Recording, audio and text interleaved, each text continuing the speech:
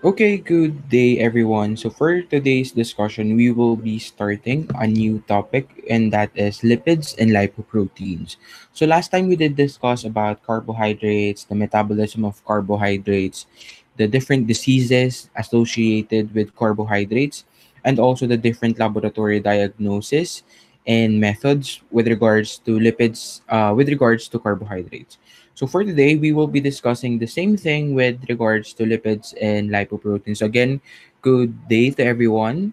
And I hope that today we will be learning a lot of things for clinical chemistry one. So lipids and lipoproteins are also one of the most important biomolecules within our body. So alongside with carbohydrates, proteins and amino acids, your lipids and lipoproteins are also very important.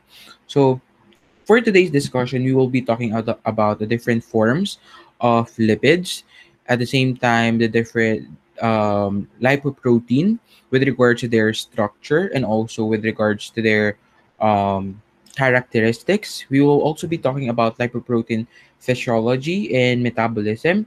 At the same time, lipid and lipoprotein population distribution distributions alongside with the disease and disorders associated with them and last but definitely not the least will be the lipid and lipoprotein measurement. So let us dig in to the first topic that we will be having for today. So the first one will be about um, the different forms of lipids. So there are different forms of lipids uh, within our body. But first, let us define what are lipids. So according to Bishop, uh, lipids are also known as fats. So these are um, essential um, biomolecules within our bodies. So they are characterized to be soluble in nonpolar organic solvents such as chloroform and ether, but relatively insoluble in polar solvents such as water. So lipids are soluble if we are talking about and we are exposing them to nonpolar organic solvents, but non they are insoluble when being associated with water. So these lipids are composed mostly of carbon hydrogen bonds. So later on, I'll be showing you some of the essential lipids inside our body, and you will actually be seeing there that there are carbon and hydrogen bonds within them. So, like what we were saying a while back, um, lipids are water insoluble. They are non-polar, meaning they are hydrophobic and for that very reason, they are being transported now by your lipoprotein. So let me first um, wrap up that for you before we proceed. So since lipids, okay, since our lipids or fats are insoluble with water, they cannot freely be transported in your plasma. So your plasma being majority is being consisted by water, uh, your lipids cannot be transported through your plasma freely. That's why they need a transport molecule. And what do we call the transport molecule? We call them lipoproteins. So as we go along, we will also be talking about lipoproteins in a short while.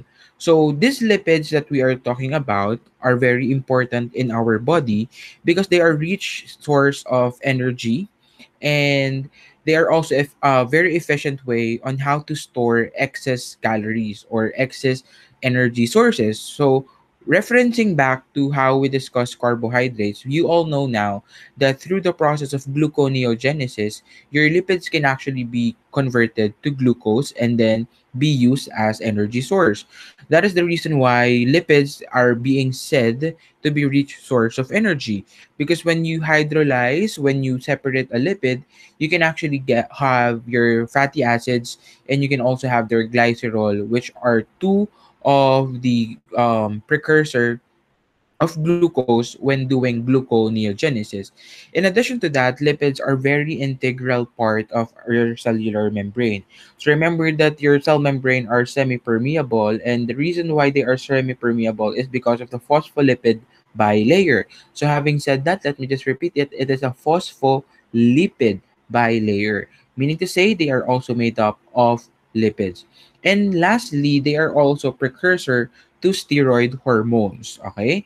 They are precursor to steroid hormones. So your lipids are not just so your lipids, your oils are not just source of energy.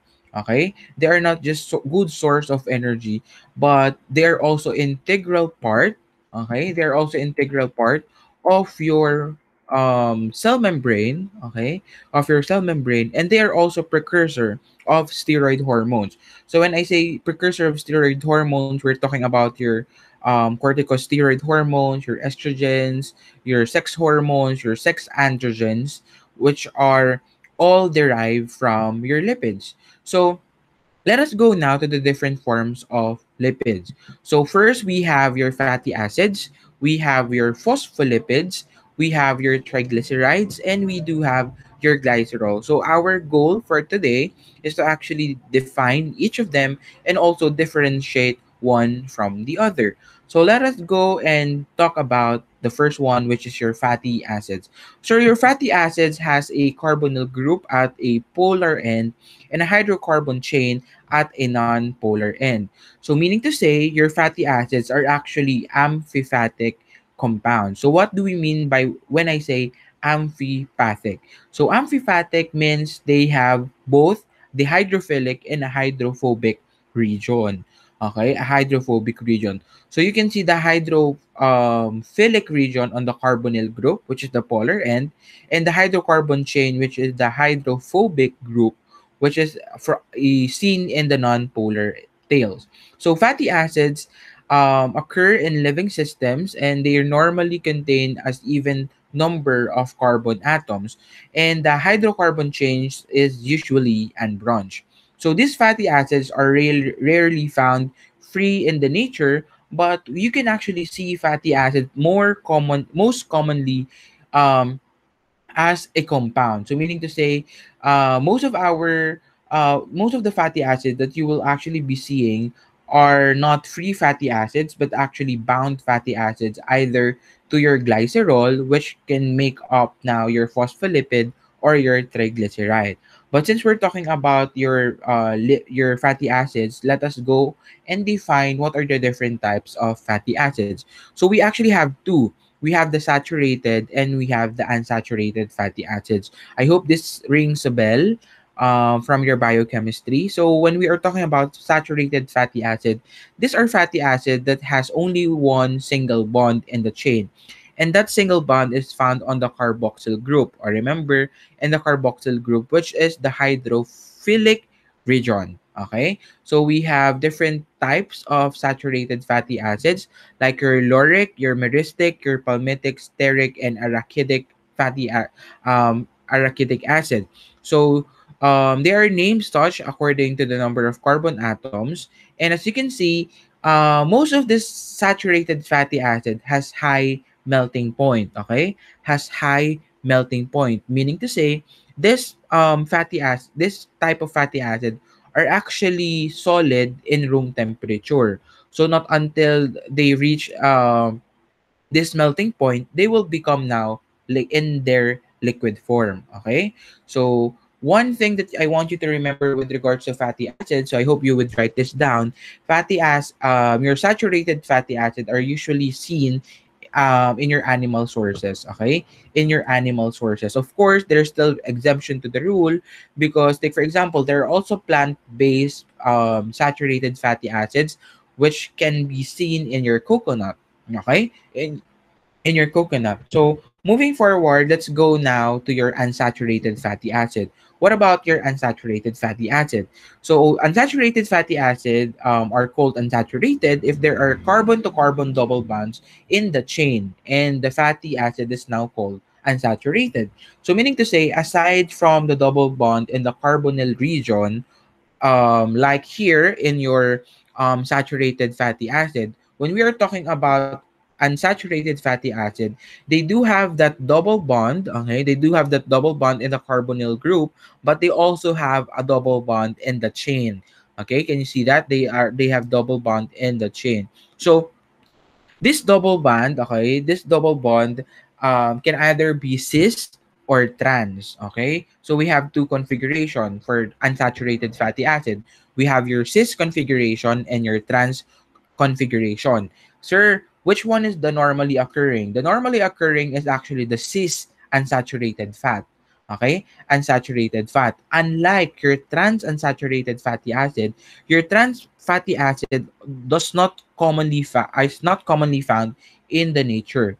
Um, be, why? Because these are synthetically being produced. How? Through the process of hydrogenation. Okay? Through the process of hydrogenation. Later on, I'll be going back to um, trans fatty acid and then I'll be wrapping up everything so that you'll be able to understand it better. Okay? So, uh, can I see a thumbs up if everybody can understand what I'm talking about here? So, let's move on. So I sh- showed you this one a while back. So again, um, when talking about unsaturated fatty acid, they have more than one double bond. So the the first double bond came from the carboxyl group, and the second or the other double bond will be seen now in your chain. So we do have here different types of unsaturated fatty acids. So we have your palmito oleic, your oleic, your linoleic, your um, linolenic, and your arachidonic fatty acids. So they have um, different um, number of carbon atoms. And as you can see, they also have here the degree of unsaturation. So take for example, for pal- palmito palmitoleic um, acid, we have 16 carbon and the one there signify that it has one double bond aside from its carbonyl um, aside it from its carbonyl and it is found on your carbon carbon number 9 same thing with your oleic okay and your linoleic um, as you can see it is 8 18 is the 2 so meaning to say it has 18 carbon and two double bonds in the chain which were found in carbon number 9 and carbon number 12. Okay, so as you can see, comparing it now to the saturated fatty acid, the melting point of this fatty acid are actually lower. So meaning to say they are liquid in your they are liquid in form in room temperature. So as you can see for so that is uh um that is one key um distinguishing feature of your unsaturated fatty acid. So they are liquid in room temperature while your saturated fatty acids are solid in liquid eh, solid in room temperature. So as I was mentioning a while back, um, unsaturated fatty acid, the notation used for fatty acid indicates the number of carbon atoms and the number of double bond. So in the system, 10 is to 0, it denotes that 18 carb it has 18 carbons of saturated fatty acid with no double bonds. Unlike the 18 is to 1 denotes 18 carbon fatty acid with one double bond and that is your what? That is your oleic acid. Okay? That is your oleic acid. So as I was mentioning a while back, your fatty acids are actually um, has lower melting point than your saturated ones. So usually, this unsaturated fatty acid are the component of plant oils and are liquid at room temperature because they have higher proportion of unsaturated fatty acids compared to the unsaturated fatty acid found in your animal fat. So Sir, why is there um an a cis and trans configuration? So gaya nga ng sabi ko kanina, we have a cis configuration and we have a trans configuration. Most of your unsaturated fat are actually in cis configuration because these are um, normally occurring unsaturated fat. Unlike your trans um, fatty acid, these are also known as your trans fat. Okay? These are also known as your trans fat. Your trans fat are synthetically pro- uh, produced saturated um, these are synthetically produced um, these are synthetically produced fatty acid through the process of hydrogenation. Hydrogenation is the addition of hydrogen atoms in your um, fatty acid chain, okay? In your fatty acid chain. And maybe some of you are wondering, sir, why is there a need to um, do hydrogenation if unsaturated fat are in fact healthy compared to saturated fat? Saturated fats. So the, please do remember that unsaturated fat are yes healthy, are, are yes healthy, are yes good for your health, but they are unstable. So they spoil easily, napapanis sila agad. So for us to preserve the quality of such um, types of fatty acids or such type of oil, we actually do hydrogenation. Okay, we actually do hydrogenation. So, meaning to say, the process of hydrogenation actually aims for the preservation of your unsaturated fatty acid. And maybe some of you are wondering, eh sir, bakit po siya masama para sa katawan? So let me talk about the three fatty acids now. So your unsaturated fatty acid, which are the good type of saturated fatty of the good type of fatty acid, these are um this lowers down, okay? This lowers down your bad cholesterol and increases your good cholesterol. Unlike your saturated fatty acid, they increase both. Okay, they increase both your saturate the, the your saturated fatty acid rather. They increase both your good cholesterol and your bad cholesterol. What about your trans fatty acid? Your trans fatty acid increases your bad cholesterol and decreases or diminish the level of your good cholesterol. That's why it's bad. Um, and if you can see some of the food right now, you can see there that they do not have um, trans fat in them.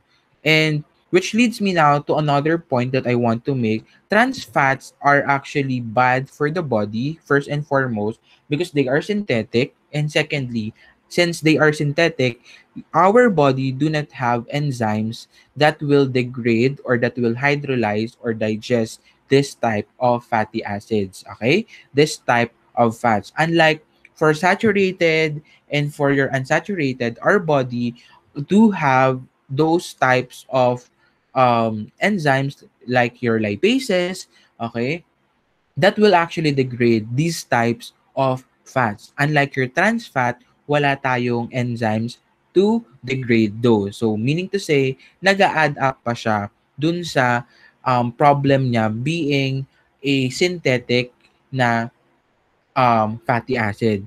And lastly, okay, and lastly, siguro to wrap it up, why is it that um, plant-based are good or your unsaturated fat are better compared to your unsaturated fat? Again, babalik ako doon sa melting point nila.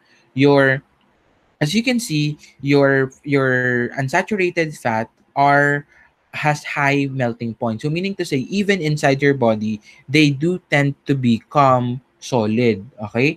Unlike your unsaturated fatty acid, they are liquid in your body. So meaning to say, um, yung mas madalas mag- mag-cause ng bara or atherosclerosis within our arteries are actually the saturated fats and the trans fats. Okay? So hopefully that's clear. So we are finished talking about your fatty acid. So if you do have any question, I will be entertaining your questions by the end of our discussion. So moving forward, let's go now to another type, okay? Into another type of lipids, which are your phospholipids. Your phospholipids are also known as your phosphoacylglycerol, okay? Your phosphoacylglycerol or phospholipids are a lipid molecule that has two fatty acids, okay, that has two fatty acids esterified to a glycerol molecule. So meaning to say, your phospholipid is actually a compound already. It has two fatty acids attached to one glycerol molecule. The resulting compound is now called your phosphatidic acid, okay? Your phosphatidic acid. So one molecule of phosphoric acid can form ester bond both to glycerol and to some other alcohol, creating now your phosphatidyl ester. Your phosphatidyl esters are actually very important, okay, because they can actually combine with very essential um, compounds such as your cephalin, your lecithin, and also your cardio lipin. Okay, your cardiolipin. So first, let's go to the structure. So your phosphatidic acid, okay, your phosphatidic acid is just your phospho, your phosphatidic acid is just your glycerol, okay, it's just your glycerol and your your fatty acid combined with your phosphoric acid, okay? Combined with your phosphoric acid. While your phosphatidyl ester, your phosphatidyl ester, are this are glycerol is esterified with 2 carboxylic acid, okay? Like your stearic and linoleic, meaning to say two fatty acid as well as phosphoric acid. And in turn, the phosphoric acid, the one the the phosphoric acid on the other hand is also esterified to a second alcohol, okay? To a second alcohol. And what are those alcohol? Those alcohol can actually be in the form of your phosphatidylcholine, your phosphatidylethanolamine, your phosphatidylserine, your diphospho diphosphatidylglycerol, your phosphatidylglycerol, and your phosphatidyl phosphatidylinositol. Okay, linositol. So these are very important. Um, these are very important um, phospholipids. So meaning to say, let us just go back to how these structures are in the first place. This one, kapag ang meron ka lang ay dalawang fatty acid, isang glycerol, at isang phosphate group, we call them phosphatidic acid. But once that phosphate group, yung phosphate group na ito ngayon, will react to another alcohol, to a second alcohol. Take for example, your choline, your lecithin, your serine, that becomes now your phosphatidyl esters, okay? And what are the different types of phosphatidyl esters? We have your phosphatidyl ethanolamine, your phosphatidyl serine, phosphatidyl glycerol. And siguro for you to remember one, your phosphatidyl serine, your PS, your phosphatidyl serine is very important for your red blood cells, correct? In hematology. And in addition to that, um, when it comes to phosph- um, phospholipid, um, the most about this is uh, these are actually the most abundant lipid in our body. Maybe some of you are will be wondering why, and I'll I'm here to give you the answer immediately because most of our cells contain your cell membrane. Your cell membrane do have your phospholipid bilayer. So meaning to say, this is the reason why your phospholipid are actually the most abundant um, lipid inside your body because each and every cell does contain your phospholipid in their cell membrane. So aside from that, they also serve as surfactant. Okay, they actually serve as surfactant in your lungs. So when you go to your amniotic fluid in your AUBF, you will actually be discussing your um, other phospholipids, okay? Like your lecithin phosphatidylcholine, which comprise majority of the phospholipid in our body. We also we also have your sphingomyelin.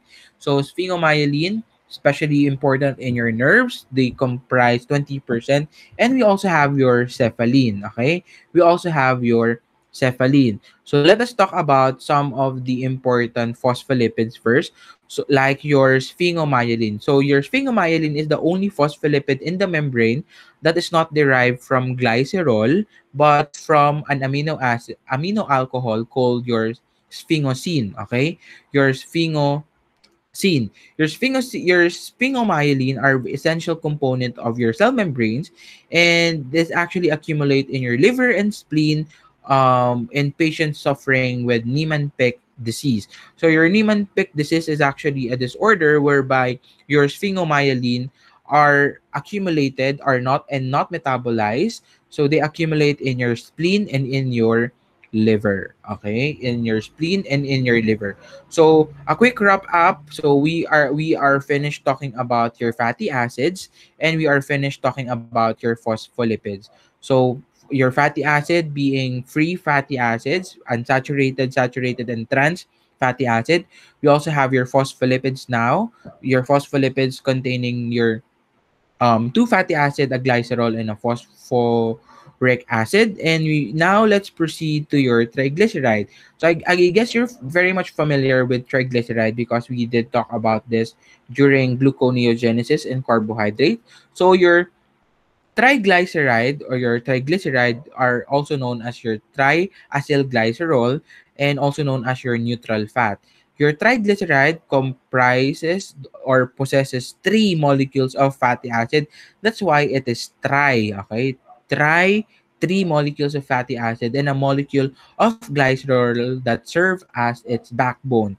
So your triglyceride are very important because they are the main storage lipid in man in the form of your adipose tissue. So in your adipose tissue, these are actually your triglyceride, okay? So low, low calorie intake, meaning to say there will be low triglyceride level.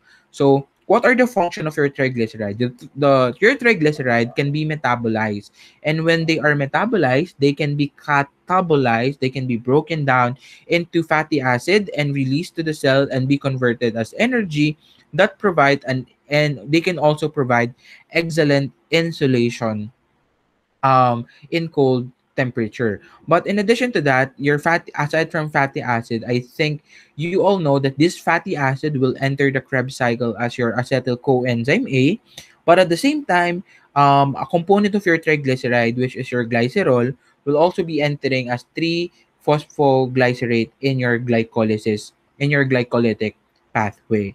Okay? So this is how the structure of your um, triglyceride look like. So this is your glycerol. So your the glycerol we will be um, attached to three fatty acids. As you can see, this is your fatty acid. And looking at this, this is actually a saturated fatty acid. And on the other hand, we have here your stearic. So we have a glycerol molecule combined with a fatty acid, your myristic, your stearic, and your palmitoleic uh, leic acid. So these are a combination of both your saturated and unsaturated fatty acids. Okay. So having said that now, okay, having said that now, um, please take note that these three ester groups are polar part of the molecule and the tails of the fatty acids are non-polar. So the glycerol, okay, the the for this part, this one, the one that you can see on my laser, these are actually the hydrophilic part, and this one are the hydrophobic part. So uh go moving forward okay? So when an organism uses fatty acid the ester linkages in the triacylglycerol are hydrolyzed but by the enzyme called lipase. So remember i told you that um your triglyceride before it can be utilized as energy source it should be catabolized or broken down further. So how can they be hydrolyzed or broken down into its simpler form? We call those enzymes lipases. Okay, these lipases are uh, the same hydrolysis reaction can take place outside organism with acid and bases as your catalyst. So as you can see here, the hydrolysis of your the hydrolysis of your triglyceride, whereby it liberates now it it will now lib- be liberating the fatty acid which can be utilized as energy source within your body. So there you go for your triglyceride. We're finished with triglycerides already. So triglyceride being an effective source of energy and also a storage form for your excess calories. Okay? So now we move on to your cholesterol. But before I move on to cholesterol, by the way, your your your fatty acid, your phospholipids, and your um, your triglyceride can all be utilized as energy sources. So now let's go to cholesterol. Cholesterol, okay, let's go now to cholesterol. So, ewan ko kung yung breakfast nyo kanina may cholesterol, but yeah, let's talk about cholesterol. So, cholesterol are not source of fuel because it is not catabolized by animals. So, meaning to say, okay, meaning to say, we are not using cholesterol as energy sources. So, if not, what is the use now of your cholesterol? But your cholesterol contains four rings of a single carbon to hydrogen chain tail, similar as well to your fatty acid. So, if your cholesterol cannot be utilized as energy sources, what is the use of cholesterol? Cholesterol is very important in your body because they are precursor of the five major classes of steroids, which are your progestins, your glucocorticoids, your mineralocorticoids, your androgens, and your estrogens. So your progestins, androgens, and estrogens related in your sexual functions. And of course, your glucocorticoids that will bring forth your cortisol and your mineralocorticoids that will bring forth your aldosterone, which are very important in the um, metabolism of carbohydrates and in the um, regulation of carbohydrates and at the same time regulation of very essential electrolytes in your body. So, hindi man natin siya ginagamit as energy source, may iba siyang silbi, okay? Aside from that, aside from being precursor of your hormones, okay? And I want to be clear, steroid hormones. It is also found in the surface of lipid layers which are synthesized in your liver, okay? Which are synthesized in your liver. So again, this type of cholesterol can be converted into becoming your testosterone, estradiol, and your progesterone, which are very important um, which are very important um, hormones within our system. In addition to that, there are actually two types of cholesterol. We have the cholesterol esters and we also have the free cholesterol. Okay, we have the free cholesterol. So let's talk about your cholesterol esters. Your cholesterol esters are the most abundant type of cholesterol. So cholesterol esters are composed of cholesterol rings and fatty acid. So they undergoes esterification by your lecithin cholesterol acyl transferase or your LCAT. So your LCAT catalyzes this esterification of cholesterol by promoting the transfer of your fatty acid from your lecithin to cholesterol which results into the formation of your lysolecithin or your and your um, cholesterol esters. So your cholesterol esters, for the information of everyone, are hydrophilic. Okay, these are hydrophilic cholesterol, meaning to say they love water, they attract water. How come? Okay, how come that this cholesterol can do that? That is because of the what? That is because now of the um fatty acid attached to them. Okay, the esterification of your cholesterol done by your lecithin cholesterol acyl transferase.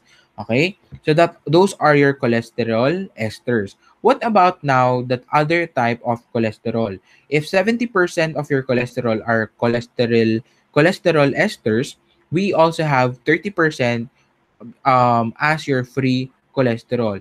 Your free cholesterol are unesterified cholesterol and these are found now in the surfaces of your lipoproteins. Sir, why do we see them in the surfaces of your lipoprotein? First and foremost, because since they are hydrophobic, they cannot freely be transported in your plasma. Meaning to say, kailangan nila ng tagabuhat, kailangan nila ng, kap- ng tagapagdala sa kanila. And that is in the form of your lipo proteins. Okay?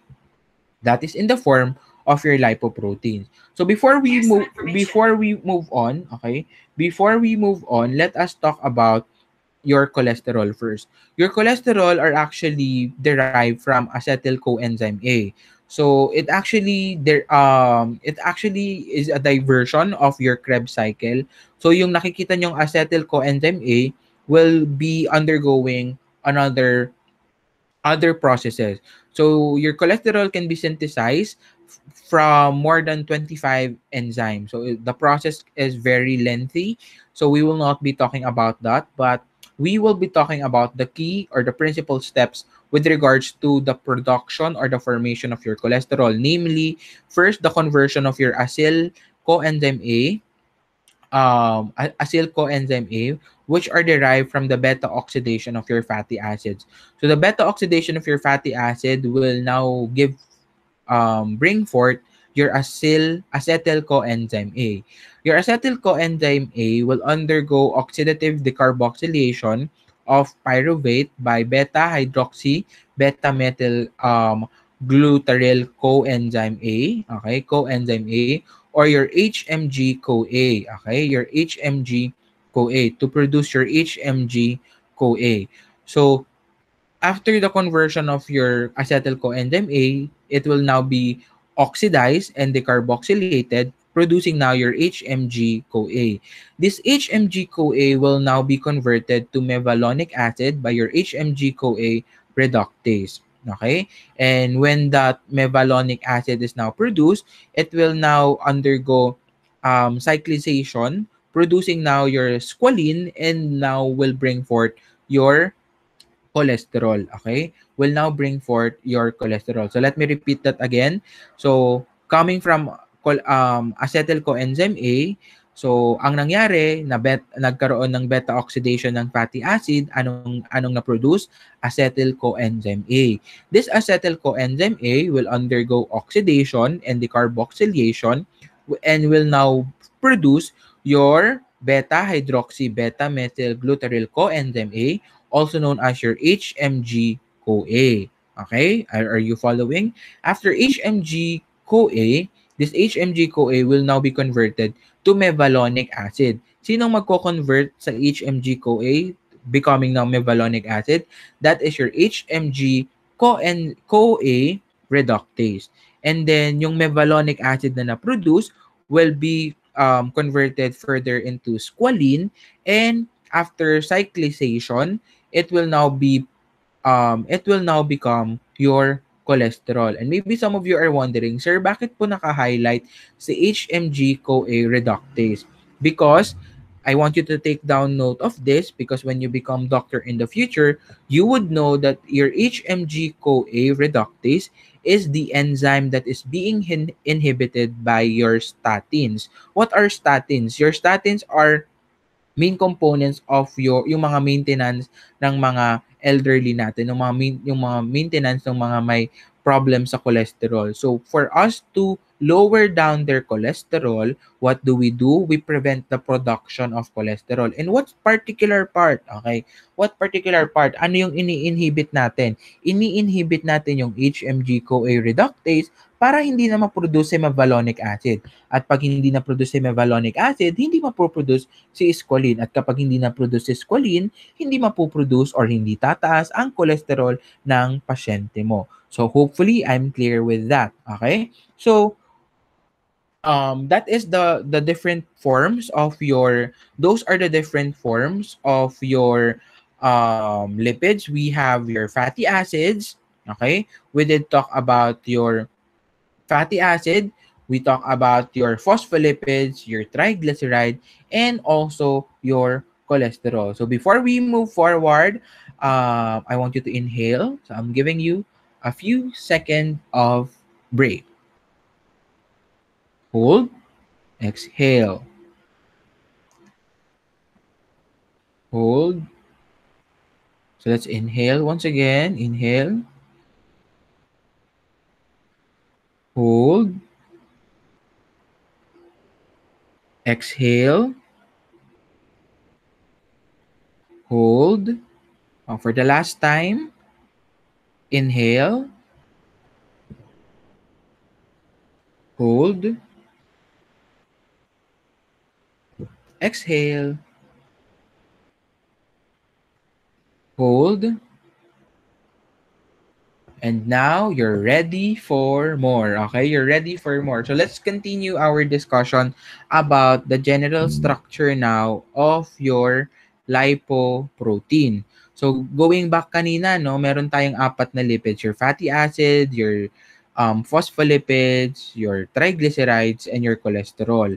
Para saan ulit si lipoprotein? Your lipoproteins are um, carrier molecule. Carrier molecule nino carrier molecule ng mga hydrophobic lipids such as what?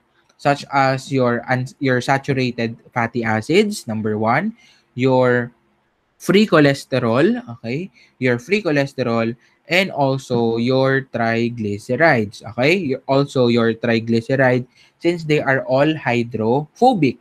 So hindi nila kayang magbiyahe ng mag-isa sa plasma so kailangan nila ng ride and that ride is your lipoprotein. Okay? So what are lipoproteins? Lipoproteins are macromolecular complexes of lipids with specialized protein known as apolipoprotein.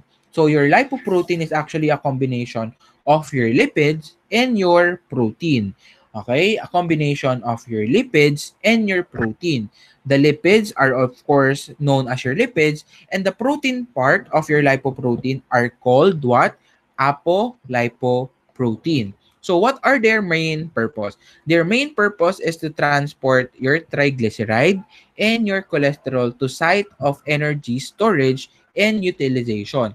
So saan sila dinadala? Kung saan sila gagamitin or kung saan sila itatago.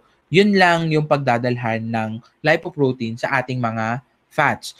Either kung saan siya gagamitin, again, at kung saan siya ita tago.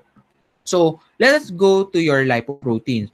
So, we have different types of lipoprotein and these are the major classes of plasma lipoproteins that I want you to remember. We have your chylomicrons, we have your VLDL, also known as your very low density lipoprotein. We have your IDL, which is your intermediate density lipoprotein, your LDL, your low density lipoprotein, and your HDL, also known as your high density lipoprotein. Why do we call them such? Bakit natin sila tinatawag na according to their density? Why do we call them according to why do we have such thing as very low density, low density, and high density lipoproteins? As you can see, that is mainly because of their protein component, the apolipoprotein in the lipoprotein. So as you can see, um, this is this table here, table 17-2, actually is the chemical composition of the major classes of plasma lipoprotein. So here pa lang, we are able to differentiate one from the other. And I want you to take a very close look at this one. Among this, um, please disregard the IDL. Among the 1, 2, 3, 4, okay, among the chylomicron, VLDL, I, LDL, and HDL, among those four, okay, among those four, the one that has um, the greatest amount of protein are actually your high density lipoprotein. Okay?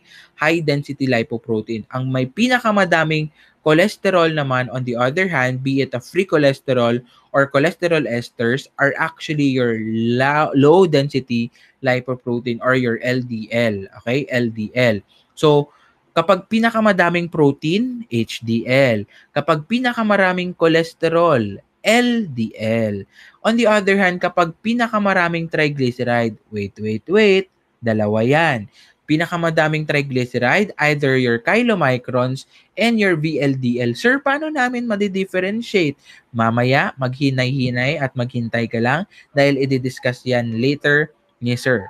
And lastly, according to phospholipid content, ang may pinakamaraming phospholipid content is also your HDL. So again, pinakamadaming protein at phospholipids are your HDL, pinakamaraming cholesterol, cholesterol, letter L, that is your LDL, at ang pinakamadami mong triglyceride, dalawa, chylomicrons, and your VLDL. Mamaya i-explain natin why. So, this is a general structure of your lipoprotein structure, okay? Um, your, your, your lipoproteins. As you can see, um, the entire structure, okay, the entire structure, we call that your lipoprotein, okay? But the protein portion, what do we call the protein portion of your lipoprotein? We call it your apolipoprotein. And as you can see, inside it are your cholesterol ester, your free cholesterol, and your triglyceride. So, nasa loob, okay, nasa hydrophobic core, yung ating mga hydrophobic lipids. Okay, hydrophobic lipids such as your fatty acid, triglyceride, and cholesterol esters that needs to be transported. Okay, that needs to be transported. So, moving forward, makikita ninyo dito sa ating sa ating um, lipoprotein, we also have your cholesterol and phospholipid in the surface, okay? In the surface. So, kanina, siguro nagtataka kayo, Sir, bakit po natin sila tinatawag na um, very low density or um, high density, low density lipoprotein? That is because of their buoyant density. Okay? That is because of their buoyant density. So in figure 17-2, you can see there the two, um, these are actually two ways on how to name your lipoprotein. We can name them according to their buoyant density and we can also give them their name according to their electro uh, electrophoretic mobi mobility. So for figure letter A, Okay, for figure A, this is your buoyant density. Your buoyant density um, is, a, uh, is a process whereby makikita natin yung density ng ating lipoproteins. Okay? Yung density ng ating lipoproteins. So, yung density ng lipoproteins natin, we can separate our one lipoprotein from the other based on ultracentrifugation. So we you did your ultracentrifugation in letter A. Again, pag buoyant density, anong ginawa mo? Ultracentrifugation. Sa electrophoretic mobility naman, anong ginawa mo? Electrophoresis. So here in your buoyant density, you can see here that your lipoproteins can be differentiated or can be separated according to their density coming from from the least density from the least dense and the most dense of them all. Which is the least dense? The least dense is your chylomicrons, okay? Your least dense is your chylomicron, pinakamagaan. Pangalawa is your very low density lipoprotein or your VLDL. Your low density lipoprotein comes next or your LDL at ang pinakamabigat, pinaka nandun sa ilalim is your high density lipoprotein. Again, bakit ulit? Babalik tayo dun sa table natin because your high density lipoprotein has the highest um, concentration of your protein. Uh, here. So as you can see, ito, ito siya. Pinakamabigat kasi pinakamaraming protein. Sumunod si LDL, tapos si VLDL, tapos si chylomicrons. Yung pinakamagaan kaya siya yung pinaka nasa ibabaw. Okay? Pinaka nasa ibabaw. On the other hand, um, we also have their electrophoretic mobility. Your electrophoretic mobility Okay? Kung gaano ito, kung sino yung pinakamagaan, siya actually yung pinakamalaki. Okay? Yung pinakamagaan, pinakamalaki. Um, in the case of your lipoproteins. Yung your meaning to say your chylomicron is the largest. That's that is the reason why kapag electrophoretic mobility, si chylomicrons naiiwan siya sa sa point of application or sa origin. Okay? At kapag nag-migrate 'yan, okay, kapag nag-migrate 'yan, we can now um, differentiate your lipoprotein according to their electrophoretic mobility. So being here, number one, your chylomicrons, ang pinaka ang sumunod kay chylomicron is your beta lipoprotein. Your beta lipoprotein is also known as your what? Not your very low density. I want you to be careful of that. Your beta lipoprotein is not your VLDL. Instead, your beta lipoprotein are actually your LDL. Okay? Your LDL. And then your pre-beta lipoproteins are, yes, your eh, VLDL. So are you getting it? And then your alpha lipoproteins are your HDL. So kapag ultracentrifugation, ito yung arrangement. Chylomicrons, VLDL, LDL, and HDL. But if we are talking about electrophoretic mobility, the arrangement now is your chylomicrons, your beta lipoproteins, your pre-beta lipoproteins, and your alpha lipoproteins. Sir, can we interchange it? Can I call uh, beta lipoprotein LDL? Yes, you can call them um, interchangeably because they are one and the same. Okay? But make sure na kapag i-identify nyo siya sa electrophoretic, uh, in their electrophoretic mobility, you will be able to differentiate one from the other. Am I clear? So again, that is for the lipoprotein. So let's us talk about them one by one para maintindihan ninyo. So later babalik tayo dito para makita natin if we actually did understand what is the difference between and actually among those four lipoproteins. So let's go and start with your chylomicron. So your chylomicrons is a normal lipoprotein, meaning to say, normally found yan sa katawan mo.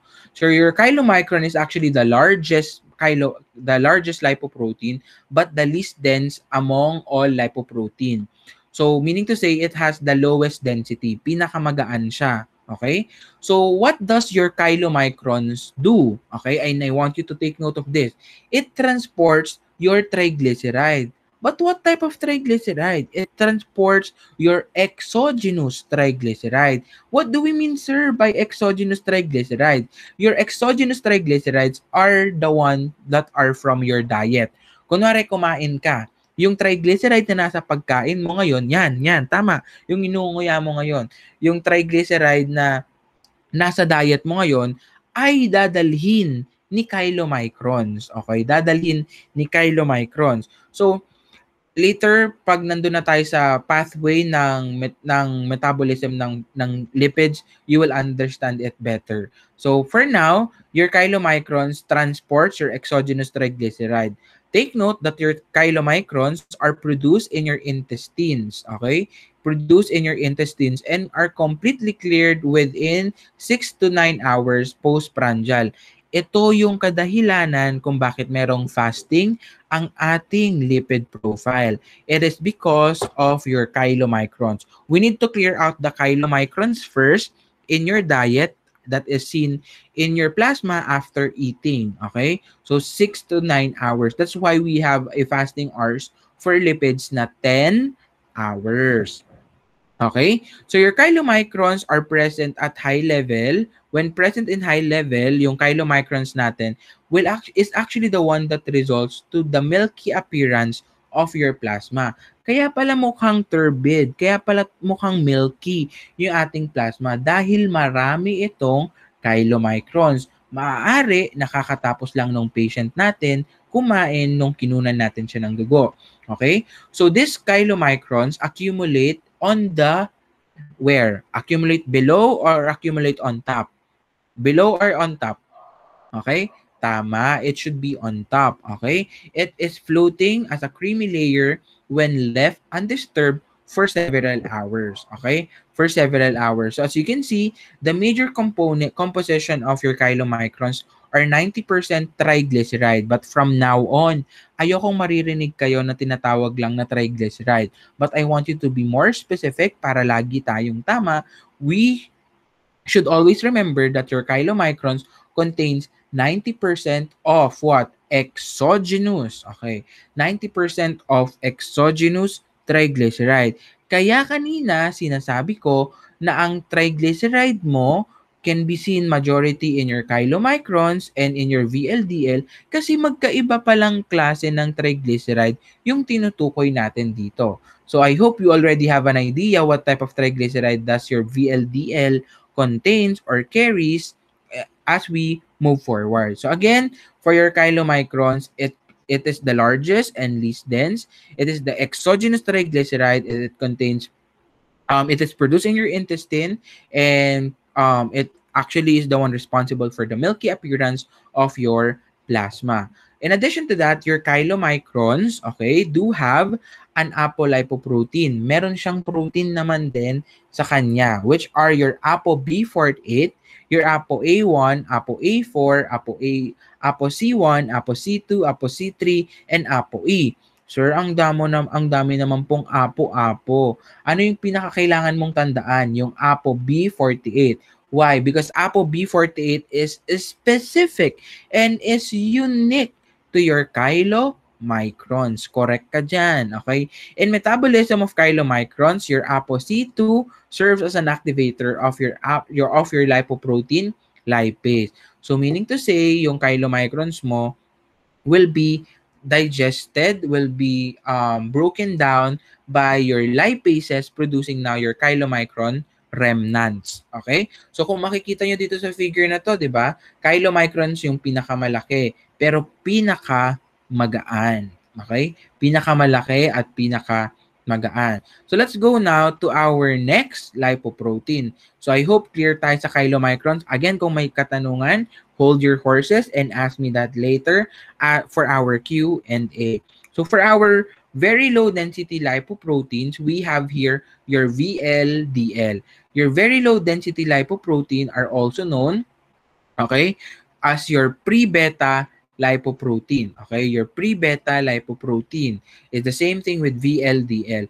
Your VLDL particle are produced where? This time, they are produced in your liver. So, your VLDL are the one that supplies, okay? Your very low density lipoprotein are the one that supply the tissue of your bo- the tissue of your body with triglyceride. What type of triglyceride, sir? Triglyceride, which are your endogenous triglyceride. Your endogenous triglyceride are primarily hepatic by origin. Okay? Hepatic by origin. So this type of lipoproteins, parehas ni chylomicrons, nagdadala din ng triglyceride. Pero this time, triglyceride ito na produce ng iyong liver. Okay? Hindi galing sa kinain mo. So let us differentiate the two. Okay? Si chylomicron, dala-dala niya exogenous triglyceride. Galing dun sa kinain mong um, pagkain.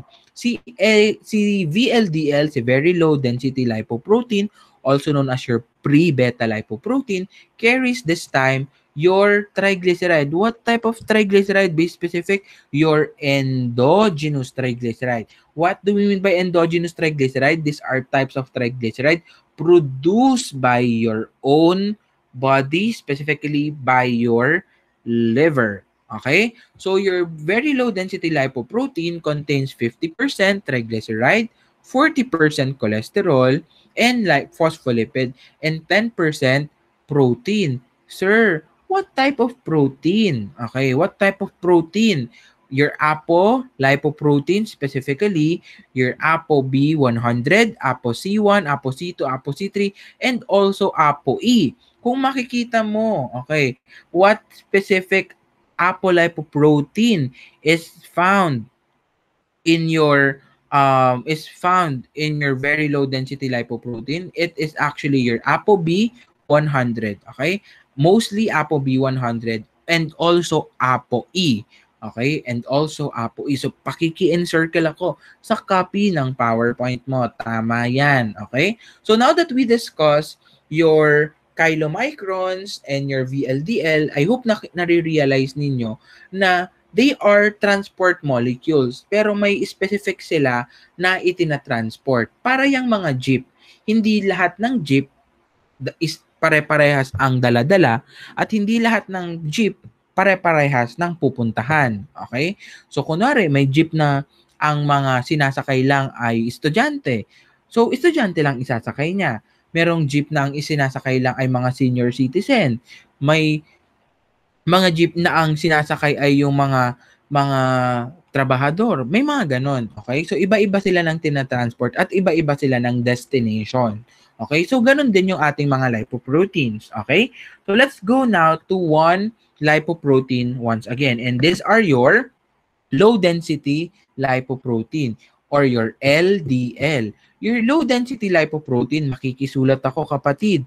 Your low-density lipoprotein are also known as your beta lipoprotein. So meaning to say, kapag ang gamit mo ultracentrifugation, makikita mo siya as your low density lipoprotein. Pero kapag gumamit ka ng electrophoresis, makikita mo siya as your beta lipoprotein. Your beta lipoprotein are also known as your bad cholesterol. Bakit kaya siya tinawag na bad cholesterol? Ito siya.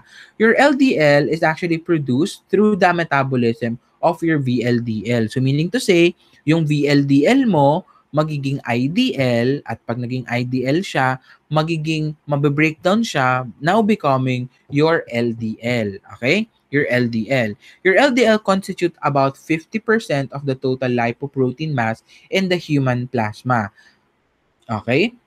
So, meaning to say, yung LDL mo galing din sa liver. So, from VLDL, naging IDL, naging LDL. So, your LDL Okay, your LDL transports your cholesterol. What type of your your LDL transports your cholesterol? This cholesterol are from your liver that will be delivered now to your peripheral tissue. So natatandaan mo ba na ang cell membrane mo kailangan ng cholesterol. Ang iba't iba mong cell, lalo na sa adrenal gland, sa testis, sa ovary, kailangan din nila ng cholesterol kasi your cholesterol are actually precursor to your steroid hormones, correct?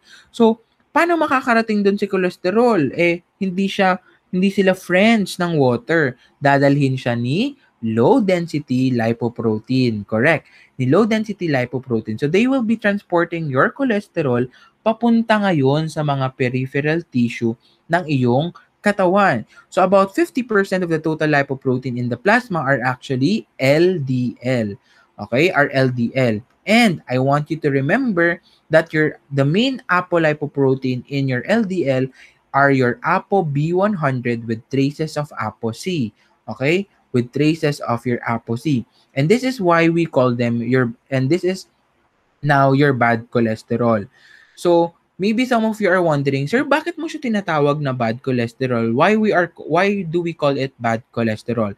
We are calling your lipo your low density lipoprotein as bad cholesterol because they deliver your cholesterol in your peripheral tissue.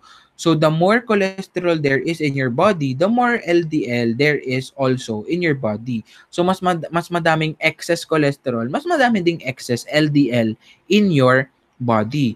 So right now, wag kayong mag-alala. I don't want to overwhelm you. But for now, what I want you to remember are the function, kung saan galing, kung saan produce, at kung ano ang daladala ng bawat lipoproteins natin. Para pagdating natin dun sa ating pathway, dun sa ating metabolic pathway, mas madali nyo nang maiintindihan kung paano siya nangyayari.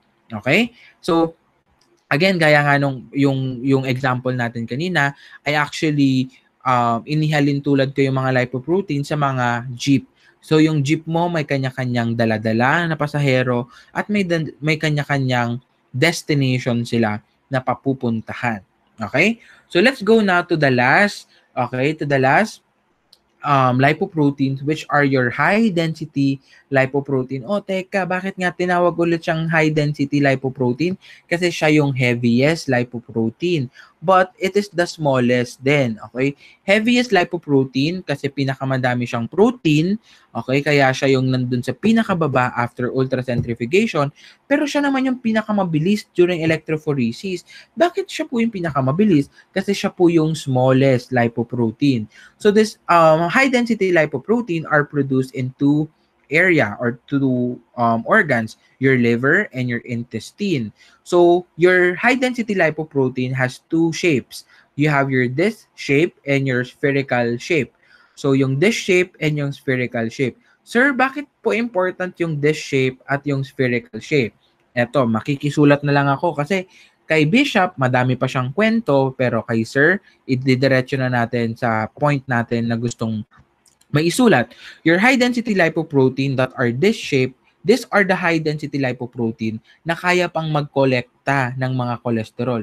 Sir, magkolekta meaning to say kapag madaming sobra sa kunare, madaming sobra sa tissue, si high density lipoprotein yung magkokolekta ng mga sobra. Okay? Kaya effective yon kapag dish shape pa siya. Paano naman sir kapag puno na yung high density lipoprotein? Meaning to say, si high density lipoprotein, yung sobrang cholesterol sa katawan mo, dadalhin niya pabalik kay cholesterol. Ano naman ang itsura ng high density lipoprotein na yun? Spherical shape na siya. Kasi madami na siyang dalang cholesterol within within itself na dadalhin niya sa liver.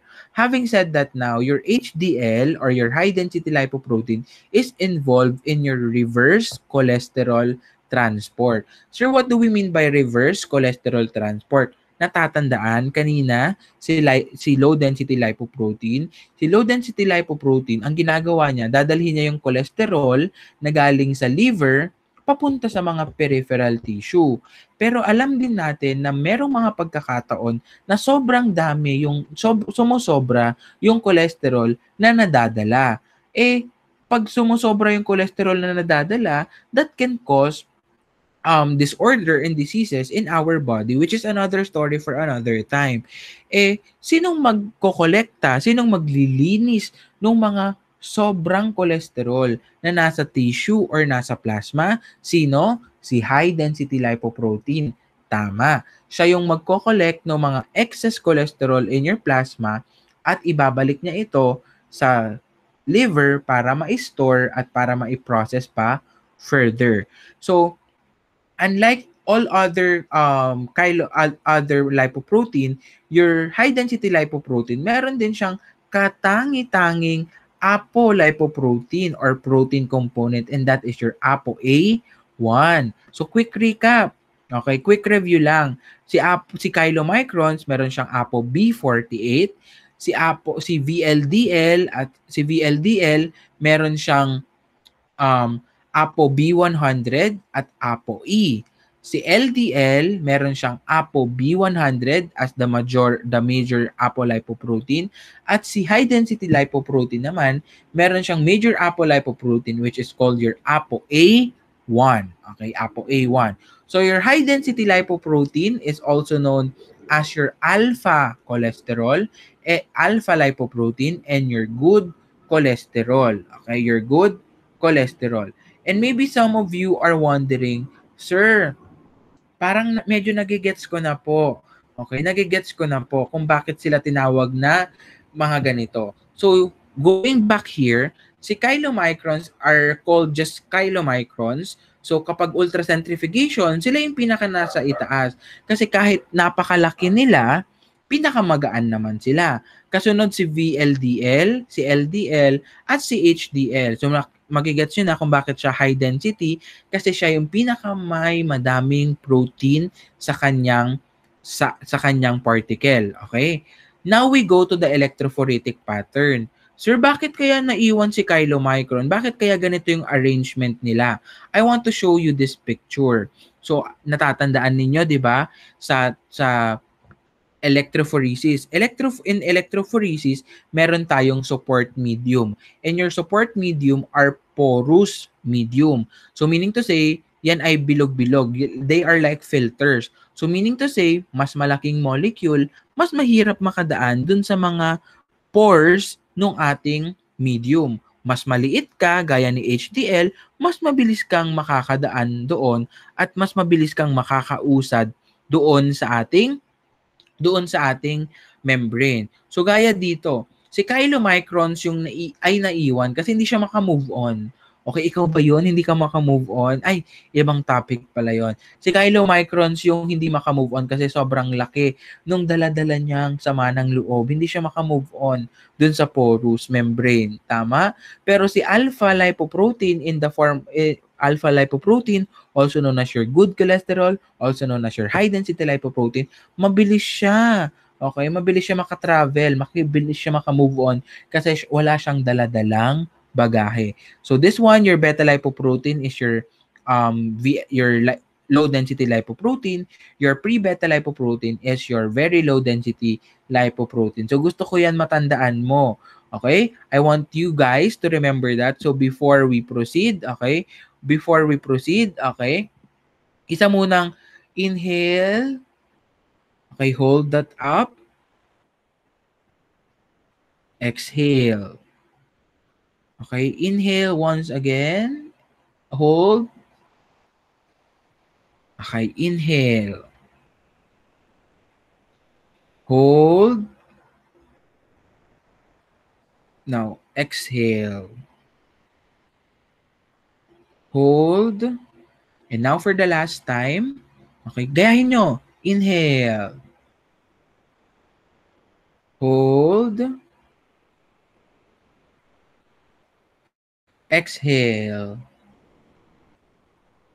Hold.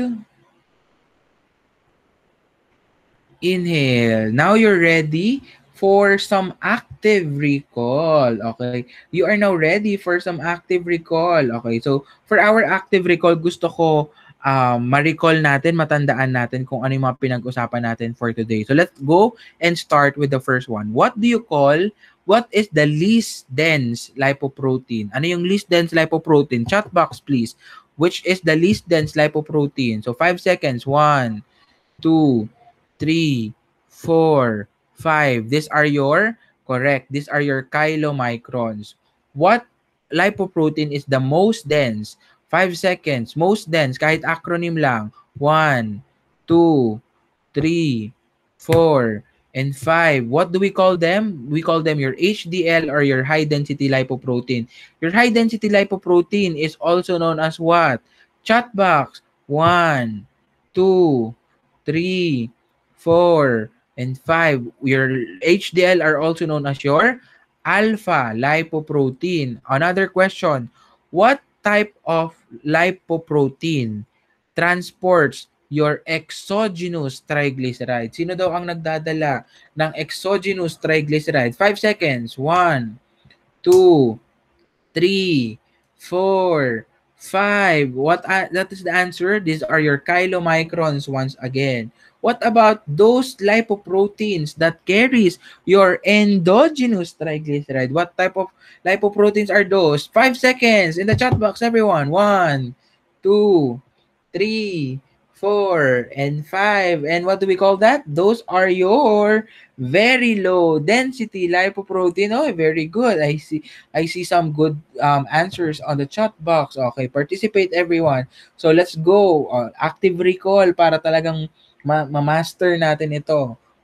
Your good cholesterol are also known as what? Five seconds in the chat box. Everyone. One, two, three, four, and five. These are your HDL or your high density lipoprotein. And for the last one, mga kapatid, huli na pong tanong, uh, what do we call your bad cholesterol? Your bad cholesterol are also known as your 5 seconds. One, two, three, four, and five. These are called your low density lipoproteins. Correct, correct, correct, correct dyan.